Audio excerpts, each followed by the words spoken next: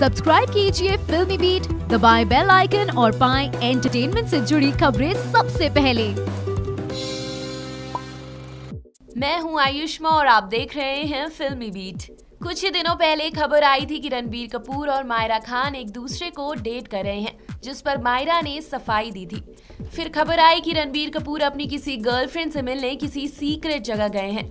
और अब कल रात से उनकी और मायरा खान की कुछ तस्वीरें सोशल मीडिया पर खूब वायरल हो रही हैं। दोनों ही न्यूयॉर्क के होटल के बाहर आराम से सिगरेट पीते चिल कर रहे थे कि किसी ने उनकी ये तस्वीरें क्लिक कर ली।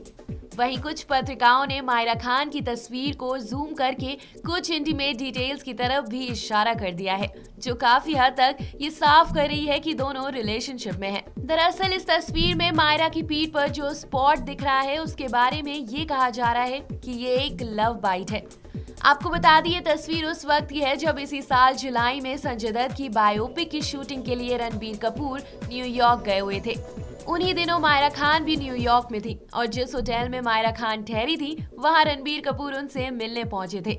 इन तस्वीरों में मायरा खान का बहुत ही बोल्ड अंदाज देखने को मिला है। कुछ ही दिनों पहले एक इंटरव्यू में रणबीर कपूर से सुंदर हीरोइनों के बारे में पूछा गया था तो उनका जवाब था कि भारत तो नहीं, लेकिन पाकिस्तानी एक्ट्रेस मायरा खान उन्हें बहुत खूबसूरत लगती हैं।